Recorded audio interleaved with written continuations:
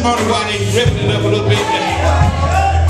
In 1950, I had typhoid fever.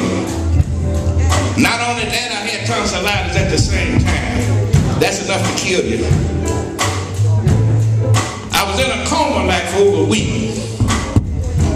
The doctor told mama they did all they could do for me. But some of those old folks, I'm not, let me say this, I'm from Arkansas, y'all, and they ain't got no sense.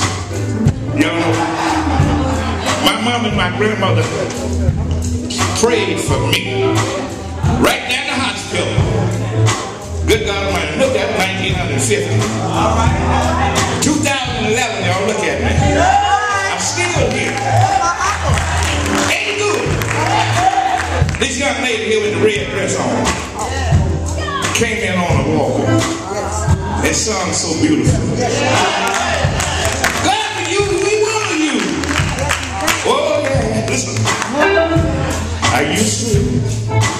Live a life of sin,